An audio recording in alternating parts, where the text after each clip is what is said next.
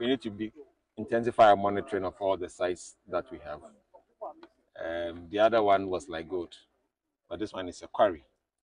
Um, irrespective of that, they are all mining sites, and we need to look at our safety critically. Um, my information is that the Minerals Commission has not gone through the, all the process with them.